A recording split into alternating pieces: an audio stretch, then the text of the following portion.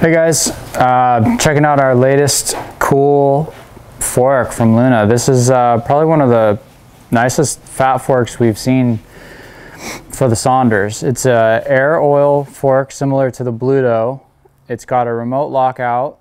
It fits the 4.9 inch tire in between the crown. And of course, being air oil, you can fill it up right here with your shock pump.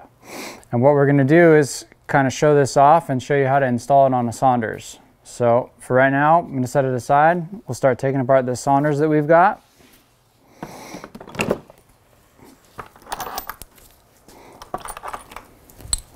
First thing I'm gonna do is take off the caliper. Just get the brakes out of the way, and then we'll take off the wheel.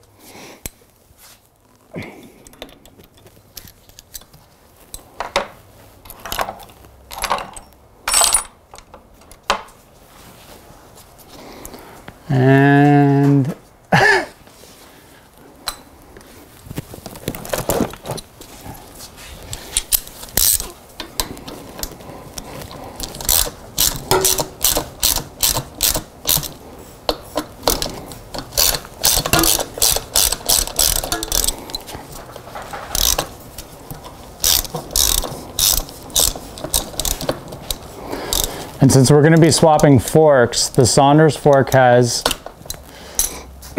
a cable guide right here that the sheath needs to route through. And in order to get it through there, you're gonna have to loosen the cable from the caliper. So you'll loosen this bolt down here. And once you have it loose, this, this bolt also is gonna have to be unscrewed. Well, actually what we're gonna do is we're gonna take this end cap off. So, use a pair of pliers and undo the crimp. Hopefully. Pull that cap off. And then we'll just pull the sheath through. And then we can finish removing the uh, the rotor, or sorry, the caliper. And what I'm gonna do is I'm gonna take it off. I already know that on the new fork, it's gonna be a post mount instead of a standard mount. So I'm just gonna pull these two bolts.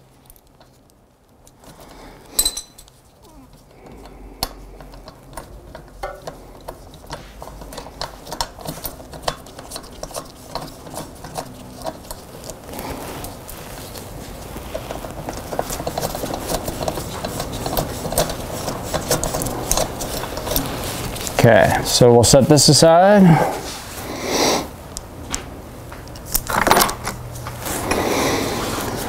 And then the next thing I'm gonna do is take the wheel off, just to make it a little easier on myself. That way when you go to take the fork off, you don't have the extra weight of the wheel.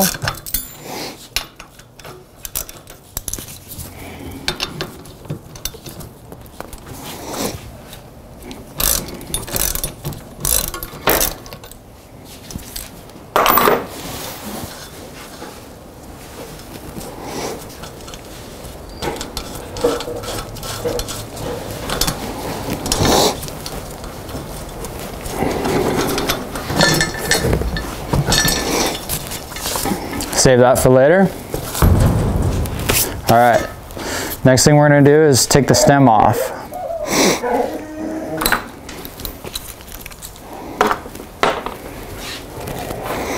So I'm gonna start by loosening these two that clamp onto the fork stem.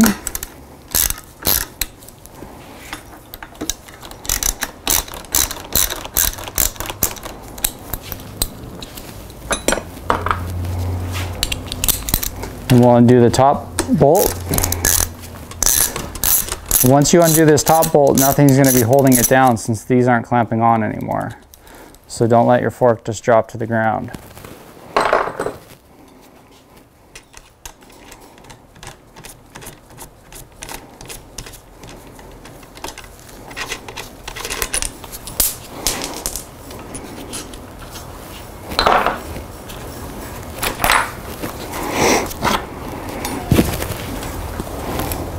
Gonna hang these right here for a minute.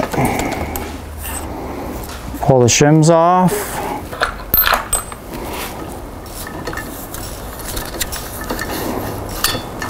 So I lied, there is actually something holding it. There's a O-ring inside this lower spacer that kind of creates traction on this. It keeps it from sliding out. So you'll have to slide that out of there. And what we're gonna do is we're gonna take these bearings off. We're gonna set them aside. And we gotta remove this lower race so that we can put it on the new fork before we install the new fork. And to do that, we're gonna pull this little plastic gasket off there. And then we gotta get something underneath there to pry this up and off so we can reuse it. So I'm gonna take this over to the workbench and we'll remove that and then we'll come back over here. Okay, so now we're on the workbench. What we did is we sharpened a flathead screwdriver and we're going to use that to start prying this uh, lower race off. Just going to kind of gently work my way around. Try not to damage it as much as possible. Want to be able to reuse it.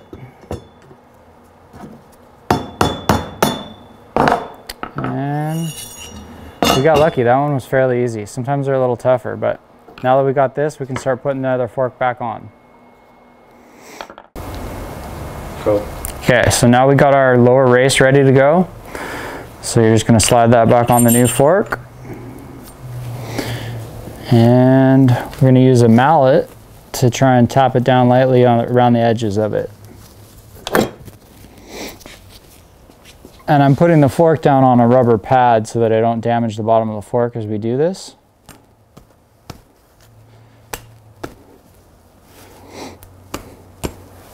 Just keep working your way around so that you're knocking it down evenly so it doesn't get jammed on there.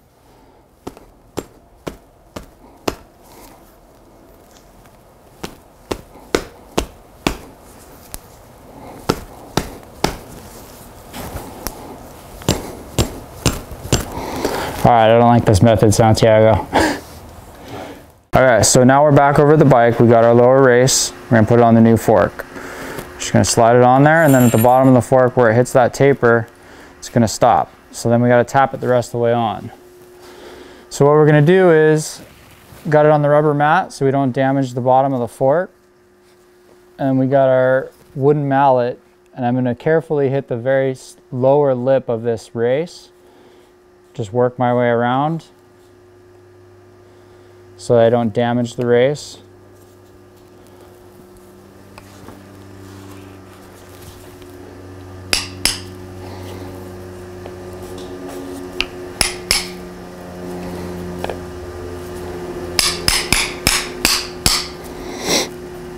And between the rubber mat and the, the suspension and the fork, you're gonna have to do a little extra work because it's fork is compressing and the mat's compressing.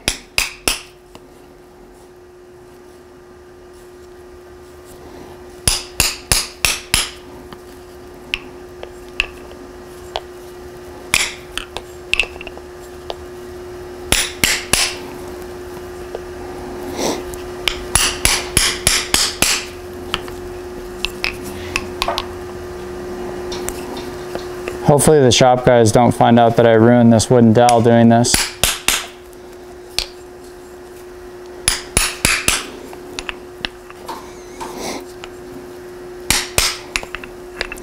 Pretty sure this is one of their specialty tools.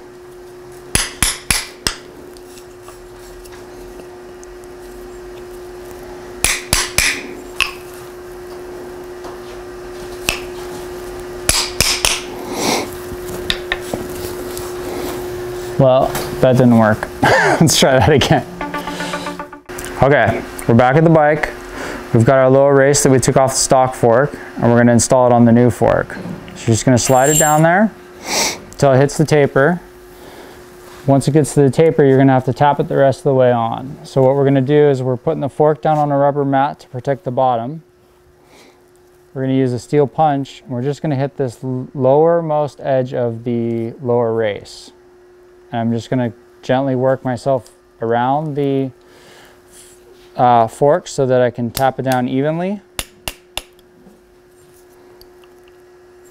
so that we don't get it stuck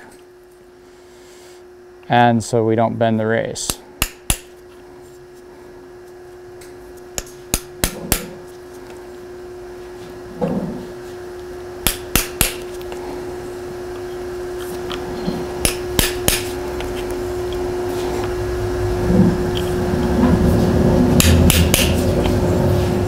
You've got a piece of pipe that sits on there nicely without damaging the uh, part that the bearing runs on, you could use that and that would be even easier. But just to show you that you can do it with something simple like a punch and a hammer, we'll just do this method.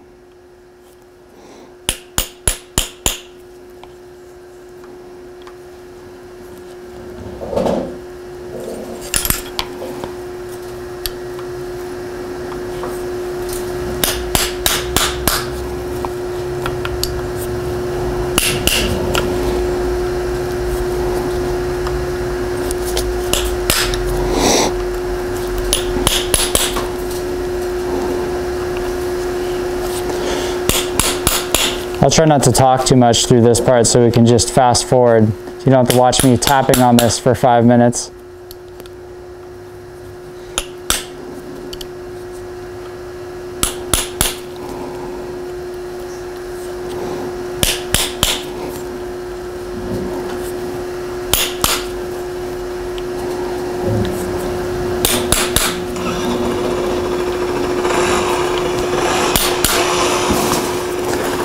Next time I gotta put my phone on silent.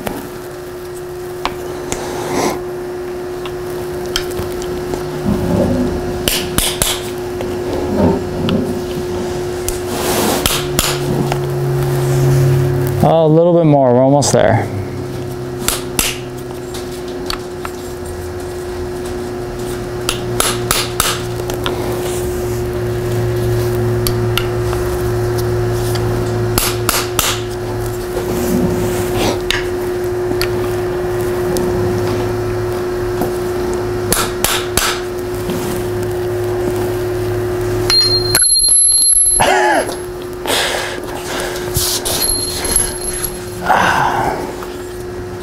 This is a Harbor Freight Punch. I Guess they are two piece.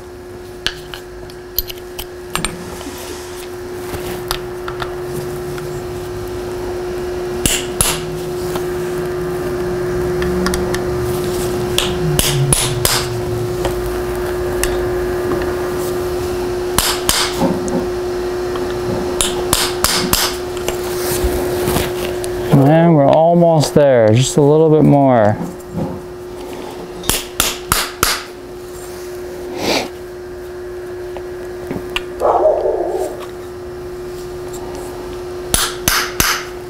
That sounded good.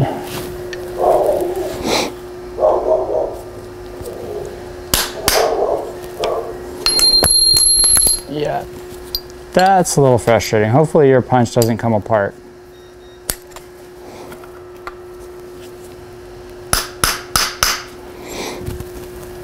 All right, we're on there. Okay, so now we can move on with the rest of the fun stuff.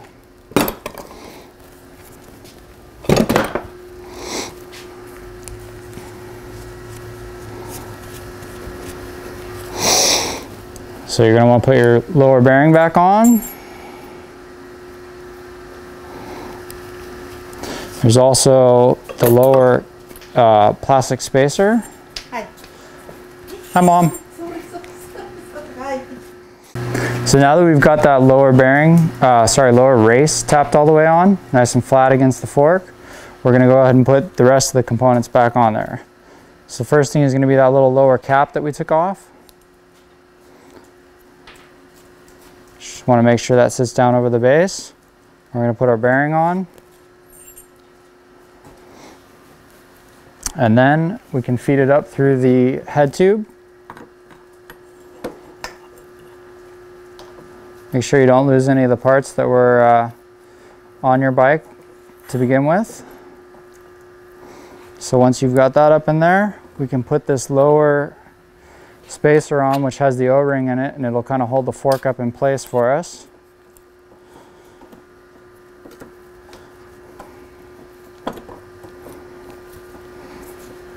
And you can see it's not going to do the job by itself, so don't let that fall out. And put our spacers back on.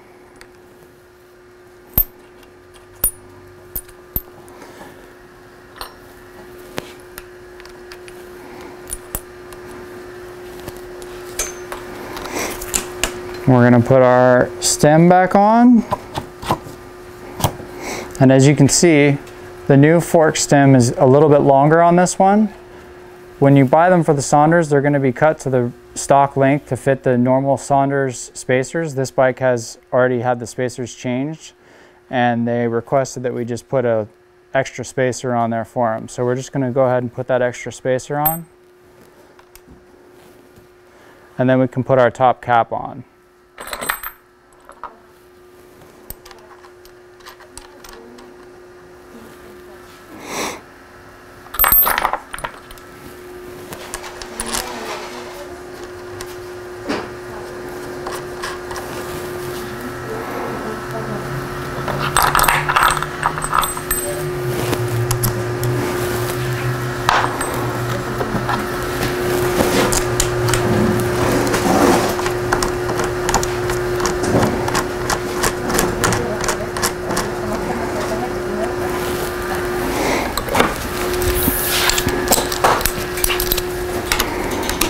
Gonna snug down the headset, make sure it moves free but not too tight, not too loose.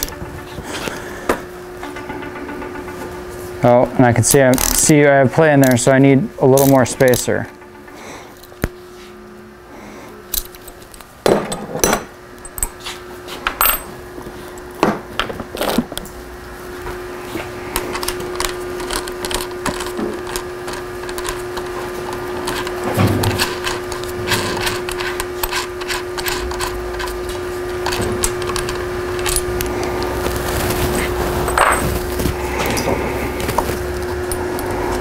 So what I'm to do is I'm going to take off one of the small spacers and I'm going to add two of the larger spacers.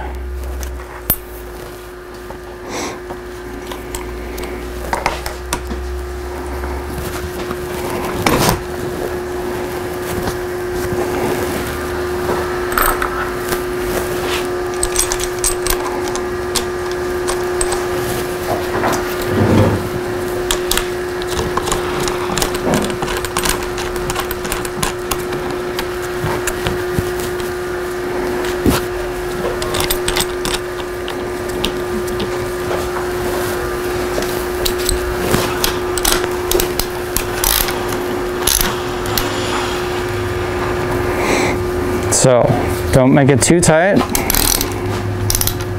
You want it kind of so that it's not floppy loose in there and you shouldn't feel any play. And then you can snug down the clamp bolts. But I'm gonna wait till we get the wheel on so I can make it easier on myself to get it straight. So the next step is gonna be mounting the wheel.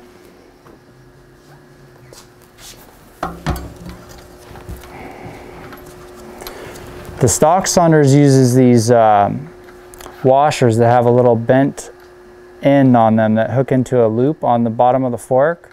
The new fork doesn't have that, so what we're gonna do is just aim that fork, or that loop, the bend rather, towards the slot in the dropout.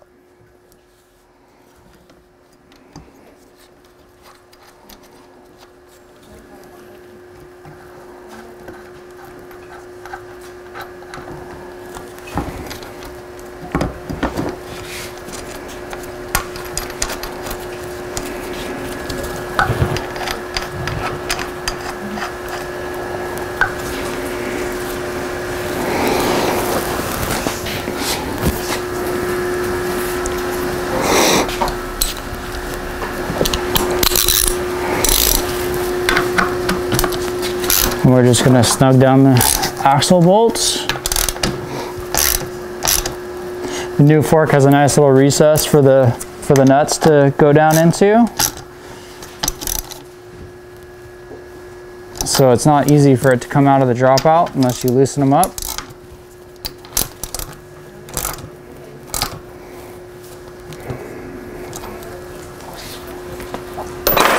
And then we gotta put our caliper back on. And as I mentioned earlier, oh, I'll show this to you. This one has the post style instead of the standard style, so we don't need the uh, caliper spacer that came on the caliper.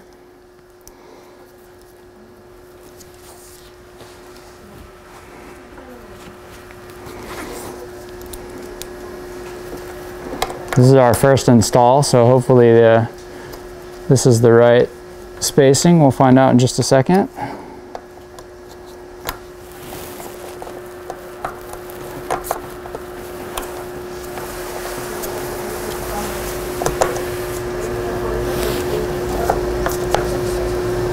Yes, that will work.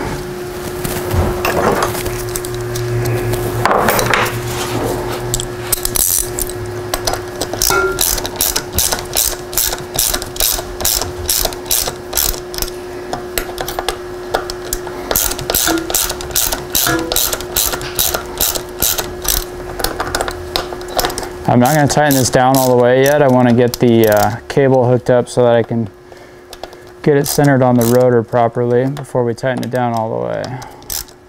So just kind of get it snug.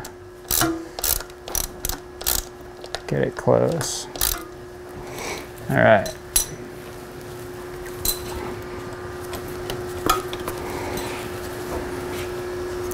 So the old fork had that built-on loop. The new one has this little catch right here that you can feed your cable through. So hopefully I have an Allen that fits that.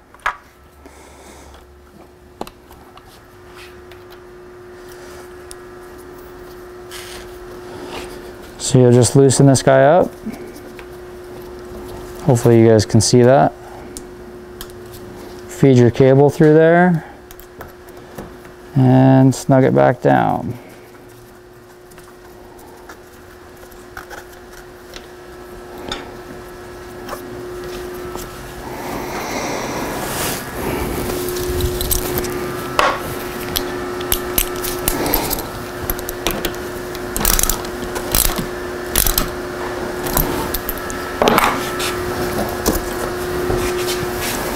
And we're just gonna feed this back through the caliper.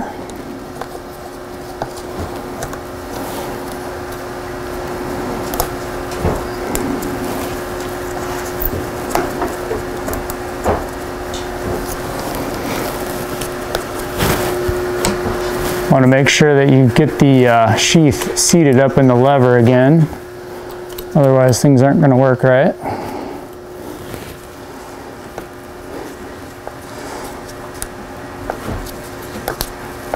To put a little bit of tension on the arm before I tighten it down.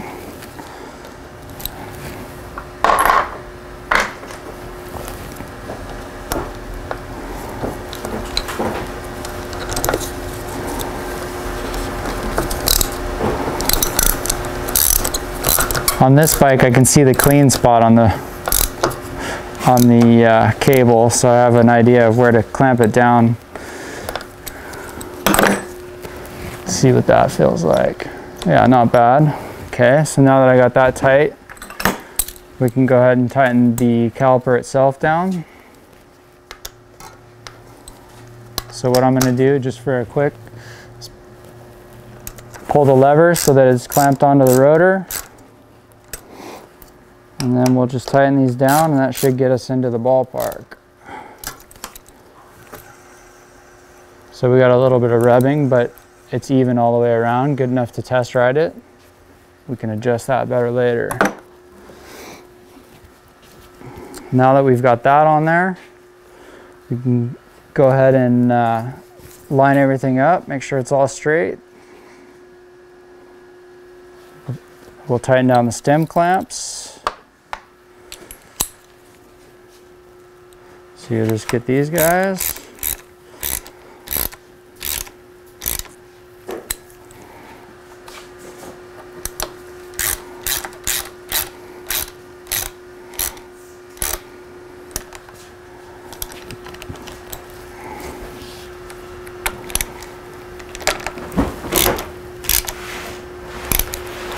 All got those.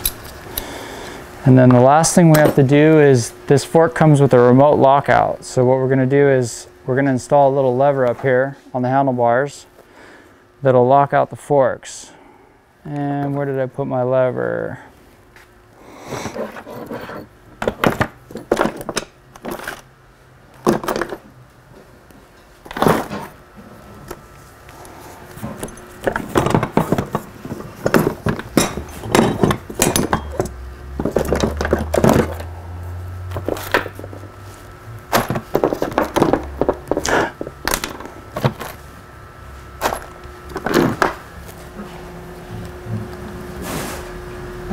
Might have to cut that part, Josh. so last step for installing the uh, fork is gonna be this remote lockout. So basically we're just gonna mount this on the handlebars and then hook it up to this side of the fork.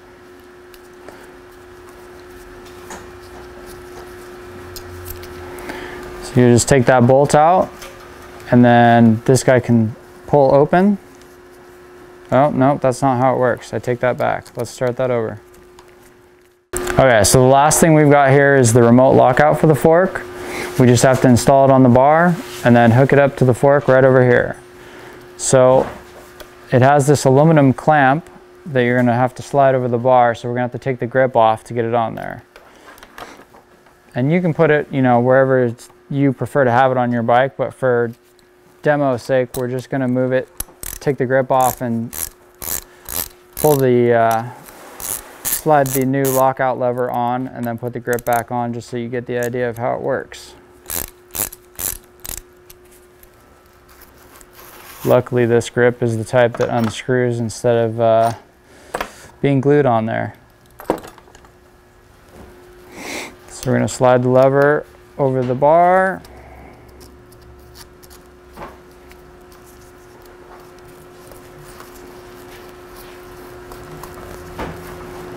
And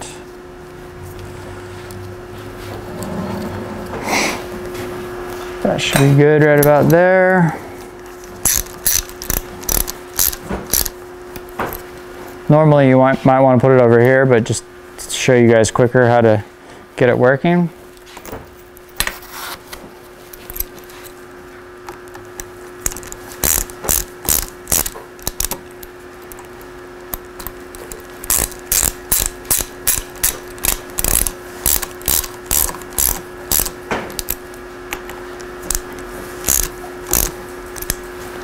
Okay, once you've got it mounted on the bar, and all you gotta do is route your cable.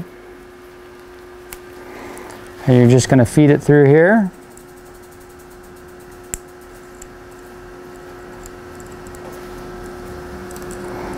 And if it snags at all, just wiggle it until it goes through. Should just feed straight through there and then we'll tighten it with the set screw right here. If it doesn't go through, then try checking the set screw, make sure it's not tight already. So I'm just gonna back this off a little bit. Yeah, there we go. Make sure you got your end pressed in all the way on both sides. You wanna check the top and the bottom, so make sure that this is seated. Make sure that this one is also seated. And then tighten down your set screw.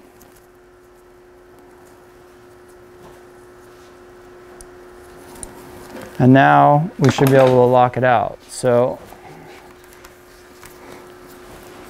No, I take that back. See, got to pay attention to the lever too. The lever was down, lever needs to be up when we tighten it. So I'm going to loosen that up again.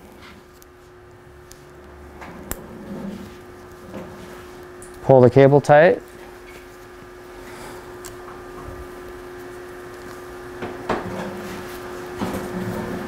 And then tighten it down. So now we should be able to snap that into place and you'll see that the lever moves when we do that or that the cable moves. So now everything is working. So now if we take it down off the stand,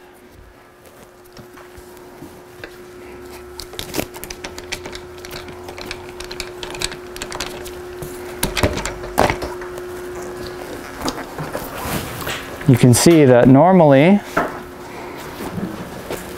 we can compress the forks. And if you hit the lockout, you get nothing. They're rigid.